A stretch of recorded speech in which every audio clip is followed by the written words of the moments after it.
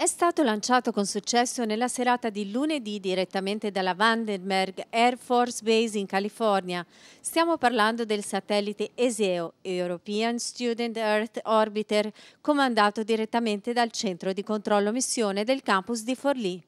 È un progetto didattico guidato dall'Agenzia Spaziale Europea, in particolare dal suo Education Office e da quella che adesso si chiama ESA Academy. È un progetto eh, realizzato per gli studenti universitari europei con l'idea di dare l'opportunità di ampliare le proprie conoscenze tramite un progetto pratico. È stato guidato ovviamente dall'ESA dal punto di vista del coordinamento, ma poi coordinato tecnicamente da un'azienda italiana, in particolare con una solida base a Forlì che si chiama Citel. Quanti sono gli studenti coinvolti, docenti e ricercatori? In totale sono stati coinvolti circa 600 studenti fino ad adesso, negli ultimi 5 anni che è stata la durata del progetto. Eh, sono studenti che provengono da eh, 10 università d'Europa e in particolare da 8 Paesi membri. L'Italia ovviamente è uno di questi e che ospita oltre all'Università di Bologna anche il contractor industriale, la CITEL, quindi ha un ruolo veramente primario in questo progetto.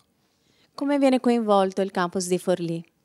Il campus di Forlì ha eh, due ruoli importanti all'interno di questo progetto perché uno è quello di aver fatto uno degli esperimenti scientifici, in particolare un ricevitore GPS per determinare la posizione del satellite, eh, ovviamente con il coordinamento della CITAL e con uh, un progetto tecnico fatto ad hoc per poter rientrare all'interno eh, dei requisiti del progetto. Il secondo è il eh, centro di controllo missione che è proprio nel nostro laboratorio da cui controlliamo il satellite, gli inviamo comandi e riceviamo i dati.